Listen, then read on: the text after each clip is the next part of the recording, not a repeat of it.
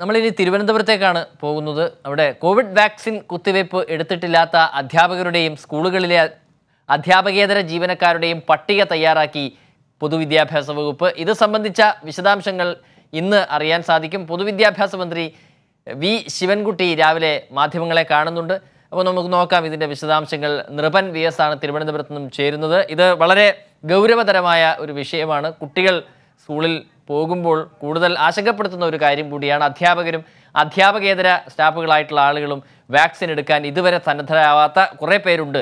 അതിന്റെ കണക്ക് ആണ് ഇപ്പോൾ നടത്തി ചെയ്തു വെച്ചിരിക്കുന്നത്. അതിന്റെ വിശദാംശങ്ങൾ ഇന്ന് പുറപ്പെടും പുറത്തുവിടും എന്നാണ് അറിയുന്നത്. നൃപൻ എന്താണ് പിന്നെ അതിന്റെ വിശദാംശങ്ങൾ? ഇന്ന് മന്ത്രിയുടെ വാർത്താ സമ്മേളനമുണ്ട് എന്നറിയുന്നു എങ്കിലും നമുക്ക് ലഭിക്കുന്ന വിവരങ്ങൾ എങ്ങനെയൊക്കെ ഉള്ളതാണ് ആ, സുരരാജ് ആമുഖമായി സുരരാജ് സൂചിപ്പിച്ചതുപോലെ സംസ്ഥാനത്ത് സ്കൂൾ തുറക്കുന്നതിന് മുന്നോടിയായി തന്നെ വിദ്യാഭ്യാസ വകുപ്പ് അധ്യാപകരൊക്കെ തന്നെ രണ്ട് ഡോസ് വാക്സിൻ പൂർത്തിയാക്കണമെന്ന കർശനമായ നിബന്ധന മുന്നോട്ട് വച്ചിരുന്നു. പക്ഷേ സ്കൂൾ തുറന്ന ശേഷവും ആദ്യത്തെ ആഴ്ചയിൽ പരിശോധനയിൽ തന്നെ ഏകദേശം അയ്യായിരത്തിന് പുറത്തോളം വരുന്ന അധ്യാപകർ അപ്പോൾ വാക്സിൻ എടുക്കാൻ ബാക്കിയുണ്ടായിരുന്നു. അപ്പോൾ ചില സാങ്കേതികമായ ചില കാരണങ്ങൾ പറഞ്ഞിരുന്നു.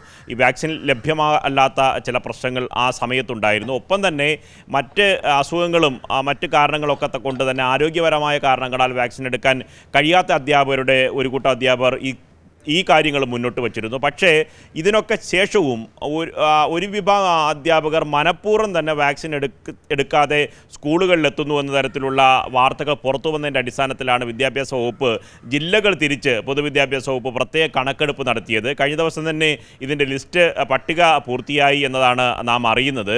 ഇന്ന് പൊതുവിദ്യാഭ്യാസ വകുപ്പ് മന്ത്രി വി. ശിവൻകുട്ടി ഒൻപത് മണിക്ക് ശേഷം മാധ്യമങ്ങളെ കാണുന്നുണ്ട്. നേരത്തെ സർക്കാർ ഇക്കാര്യത്തിൽ ഗൗരവതരമായ സമീപനം സ്വീകരിക്കുമെന്ന് പറഞ്ഞിരുന്നു. പതിനെട്ട് വയസ്സിന് താഴെയുള്ള സ്കൂൾ വിദ്യാർത്ഥികൾക്കടക്കം വാക്സിൻ ലഭ്യമാക്കണമെന്ന സമീപനത്തിലേക്ക് വിദഗ്ധർ മുന്നോട്ട് പോകുന്ന ഘട്ടത്തിൽ മാതൃകയാകേണ്ട അധ്യാപകർ വാക്സിൻ എടുക്കാതെ സ്കൂളുകളിലെത്തുന്നത് നല്ല കീഴ്വഴക്കമല്ല. ഇത് ആരോഗ്യ കാരണങ്ങളാണ്. ഏറ്റവും പ്രധാനപ്പെട്ട കാര്യം കഴിഞ്ഞ ദിവസങ്ങളിൽ പൊതുവിദ്യാഭ്യാസ മന്ത്രി വി. ശിവൻകുട്ടി തന്നെ പറഞ്ഞിരുന്നു.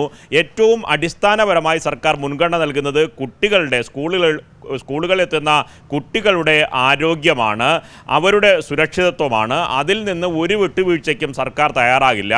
ഇത് ആരോഗ്യ വകുപ്പിനെയും അതോടൊപ്പം തന്നെ മുഖ്യമന്ത്രി അധ്യക്ഷനായ കോവിഡ് ഉന്നതാധികാര സമിതിയെയും ഇത്തരം കാര്യങ്ങൾ അറിയിക്കുമെന്നും വിദ്യാഭ്യാസ വകുപ്പ് മന്ത്രി ശിവൻകുട്ടി നേരത്തെ വ്യക്തമാക്കിയതാണ്.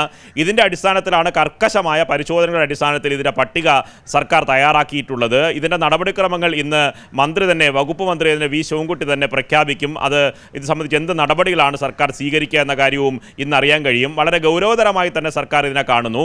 മനഃപൂർവം വാക്സിൻ എടുക്കാത്ത അധ്യാപകരുണ്ട് എങ്കിൽ അവർക്കെതിരെ കർക്കശമായ നടപടി വേണമെന്ന വിവിധ കോണുകളിൽ നിന്ന് ആവശ്യവും വരുന്നുണ്ട്. ഒന്ന് ഇക്കാര്യങ്ങളിലൊക്കെ തന്നെ ശരിയായ ആരോഗ്യ സംവിധാനങ്ങളും ചികിത്സാ സംവിധാനങ്ങളും പാലിക്കണമെന്ന ഈ സർക്കാരിന്റെയും ആരോഗ്യവകുപ്പിന്റെയും വിദഗ്ധരുടെയൊക്കെ മുന്നറിയിപ്പ് മുന്നറിയിപ്പാണ് അവഗണിച്ചുകൊണ്ട് മനഃപൂർവമായി ഇത്തരം കാര്യങ്ങൾ വെല്ലുവിളിക്കുകയും അവഗണിക്കുകയും ചെയ്യുന്ന അധ്യാപകർക്കെതിരെ നടപടി വേണമെന്നതാണ് ആവശ്യം. ഇത്തരം കാര്യങ്ങൾ പരിശോധിക്കും. ഒന്ന് ഈ അധ്യാപകർ എന്ന് പറയുന്നത് വിദ്യാർത്ഥികൾക്കും സമൂഹത്തിനൊക്കെ തന്നെ മാതൃകയാകേണ്ടവരാണ്. ബഹുഭൂരിപക്ഷം പേരും വാക്സിൻ എടുത്തു കഴിഞ്ഞു. വിരലിൽ എണ്ണാവുന്നവരാണ് എന്നതാണ് ഇപ്പോൾ നമുക്ക് ലഭിക്കുന്ന വിവരം. അവസാനം ആദ്യ ആഴ്ചയിൽ അയ്യായിരത്തിലധികം അധ്യാപകരായിരുന്നു ഉണ്ടായിരുന്നെങ്കിൽ ഇപ്പോൾ ഏകദേശം ഒരു രണ്ടായിരത്തി അറുന്നൂറോ രണ്ടായിരത്തി എഴുന്നൂറോ അധ്യാപകർ അവസാന പട്ടികയിലുണ്ട് എന്നതാണ്. അതിൽ ആരോഗ്യ കാരണങ്ങളാൽ വാക്സിൻ എടുക്കാത്തവർ എത്രവരാണ്? എന്നാൽ മനഃപൂർവം വാക്സിൻ എടുക്കാത്തവർ ആരെങ്കിലും ഉണ്ടെങ്കിൽ അത് സംബന്ധിച്ച വിശദീകരണങ്ങളും മറ്റു കാര്യങ്ങളും ഇന്ന് മുഖ്യ ഇന്ന് പൊതുവിദ്യാഭ്യാസ വകുപ്പ് മന്ത്രി വി ശിവൻകുട്ടി ഒൻപത് മണിക്ക് ശേഷം മാധ്യമങ്ങളെ കാണുമ്പോൾ ഇത്തരം കാര്യങ്ങൾ കൂടുതൽ വ്യക്തതയുണ്ടാകും. സുരരാജ് യെസ് നൃപൻ അതിനുവേണ്ടിയാണ് നമ്മൾ കാത്തിരിക്കുന്നത്. ഈ കാര്യത്തിന്റെ ഗൗരവതരമായ ഒരു വിഷയം കൂടിയാണിത്. അത് അതിന്റെ വിശദാംശങ്ങൾ എന്താണ് എന്ന് മന്ത്രി തന്നെ പറയുമ്പോൾ നമുക്ക് കൂടുതൽ അറിയാൻ സാധിക്കും. ഒൻപത് മണിക്ക് ശേഷം മന്ത്രിയുടെ വാർത്താ സമ്മേളനമുണ്ട്. V S. നൃപനാണ് വിവരങ്ങൾ പങ്കുവച്ചത്.